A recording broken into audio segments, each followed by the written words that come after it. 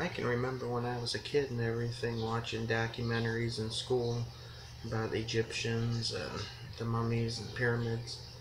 But um, I remember, you know, they found at least one mummy in one of the pyramids, but in this reality, a mummy has never been found in any of the pyramids.